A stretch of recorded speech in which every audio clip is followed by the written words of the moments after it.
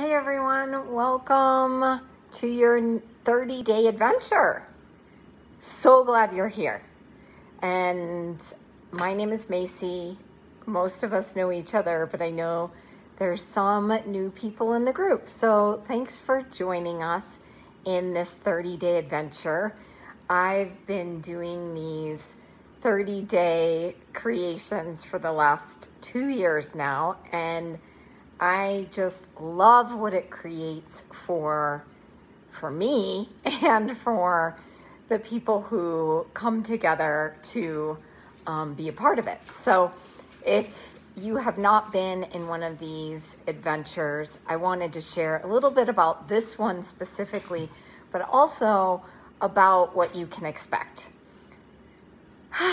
so, we will be here in this group every day live at 9 a.m. Mountain Time, and I am going to be bringing you specific tools and practices and teachings on this topic of moving from protection to connection.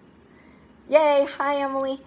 So, if you um, have noticed that relationship stuff can be challenging, um, this is this is where you want to start is working with your nervous system so that you can cultivate this safety and security within you.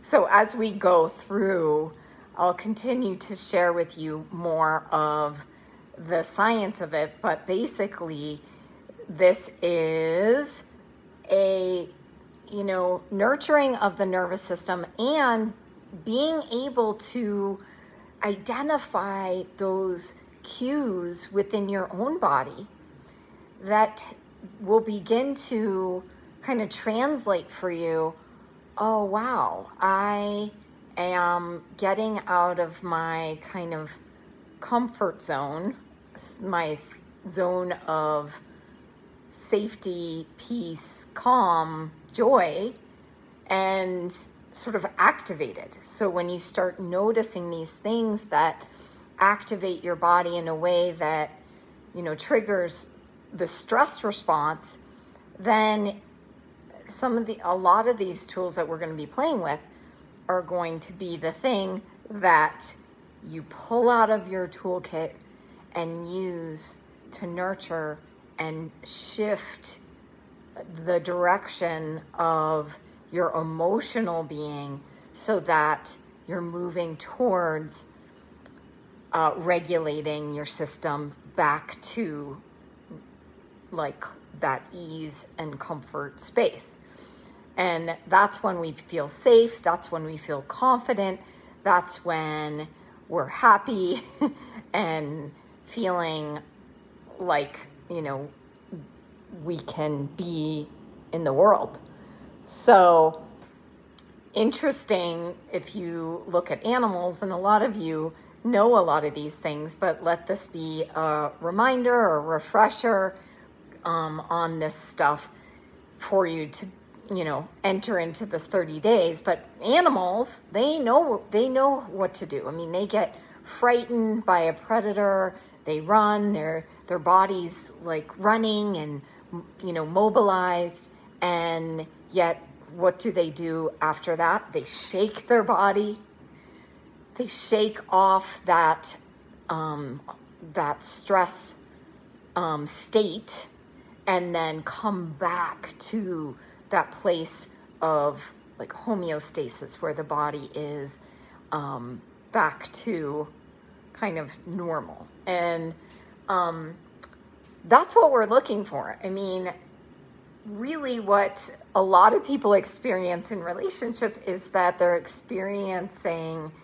triggers that are not even real or true or necessary um, but they're coming from a deeper place that maybe holds a memory of something that's attached to a belief that was established early on in life.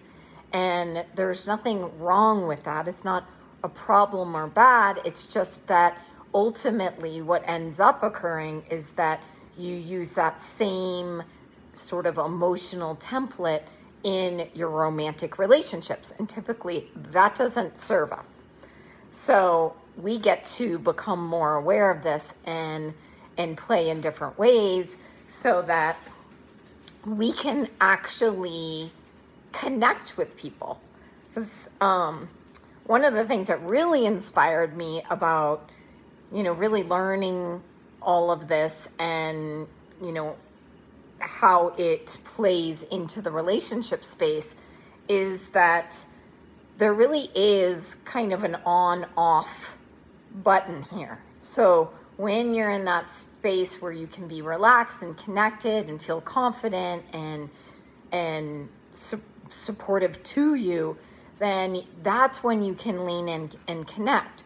When your body goes into these other states of like I need to run or I'm totally shut down, then you're not really in a you're not in a place where you can connect. And that happens so much in dating. That happens certainly I see a lot of people uh, online dating having these moments of shutdown and these these like freakouts and like I can't do it and and and that's normal because you know when you're putting yourself in that environment if you haven't addressed those kind of core wounds or or established and developed that secure kind of relationship within your being then um, then you know putting yourself out in this environment where it's a completely different kind of connection where you can't make eye contact you're writing you're you're kind of in this technical world that it can be really scary for your system so it's kind of learning some new skills to be able to navigate that space if you want to use that really kind of powerful tool to meet other singles. But it does require having some skills there um, so that you're not just shutting down. And then ultimately, you can get to a place where you are see, getting to meet people in person and connecting, even seeing people's eyes on a Zoom call is really helpful and seeing a smile or seeing how they're interested or leaning in can be really nurturing to our systems. So I'm really thrilled to be able to work with all of this stuff. So if you're here, um, just know that we have, you know, 14, 15 hours ahead of us to play the other thing I want to say is when I just said 14 or 15 hours, I already felt a lot of people going, ah, what if I miss something? I can't do all that. That's too much. Do not worry about that. I know that I've created this 30 day experience in a way that makes it consumable in whatever form you take. And please trust yourself and know that if you miss a day, and um, it's no big deal.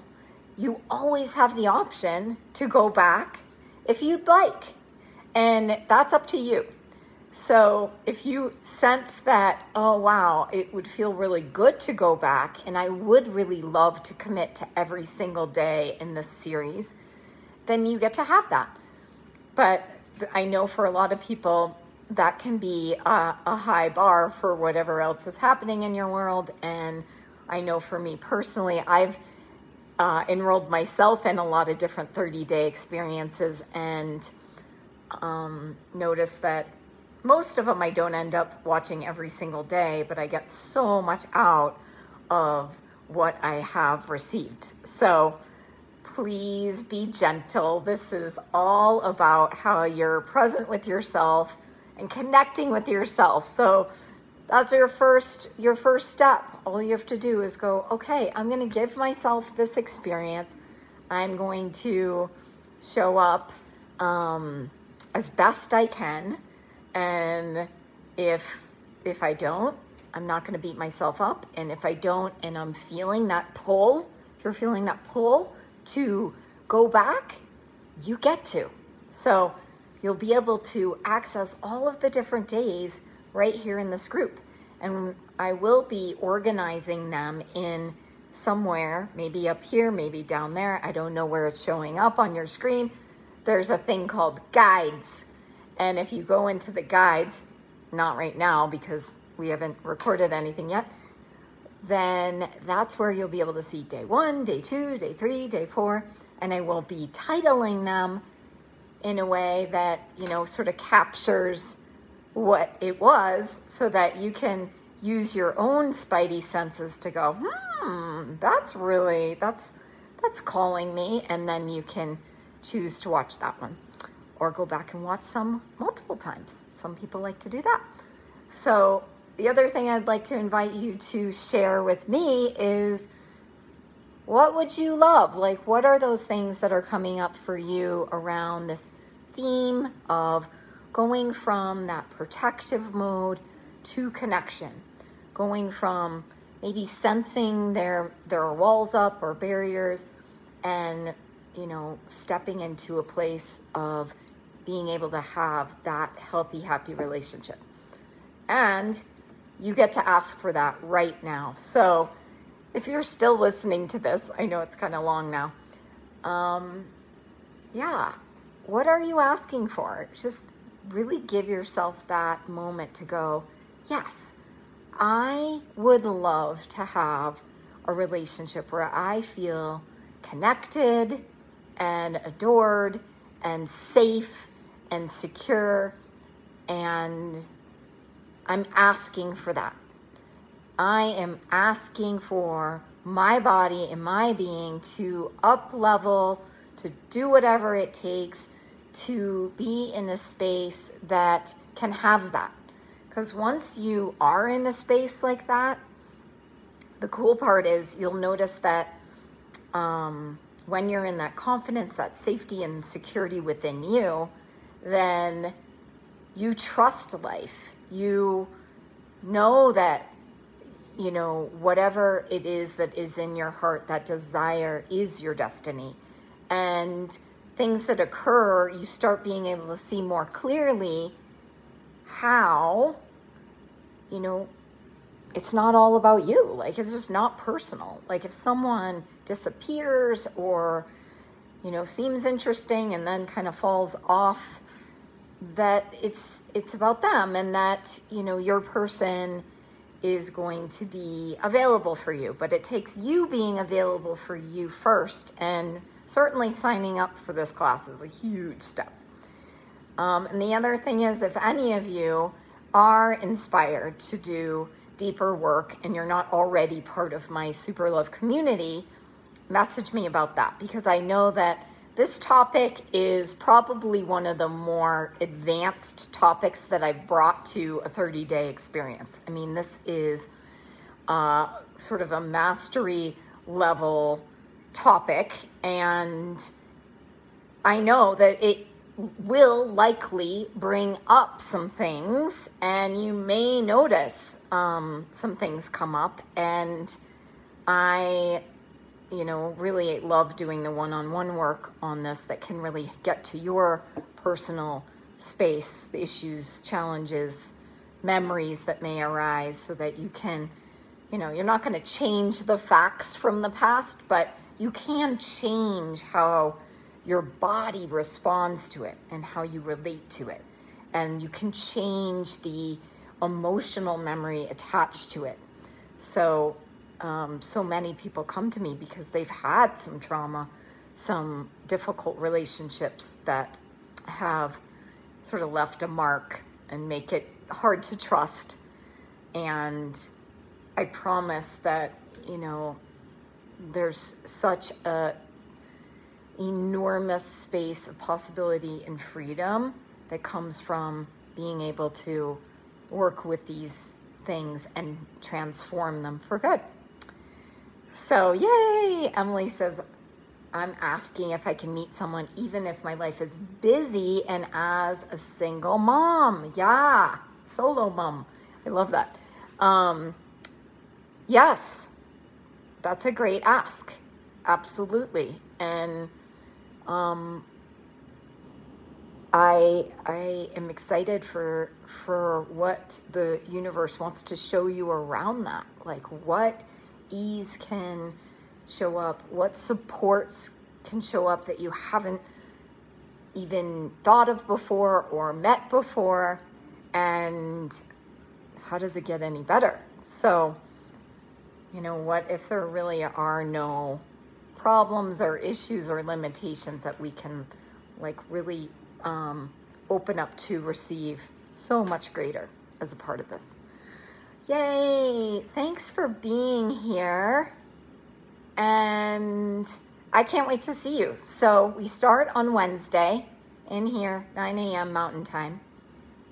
I love it when you show up live, by the way. So if you show up live, that just makes me so happy because it does charge the energy somehow. And I wonder if you feel the same too, the difference between the live. But the recordings are still really powerful. I have people coming back to recordings I did over a year ago. I feel like a different person than I was then because I am. And um, so, either way, and uh, if that's possible, I, I recommend it. So, yay! Oh, good. I'm so glad. Emily, I'm so excited for you to be part of this. This is going to be great. All right, everyone, we'll see you really soon. Bye.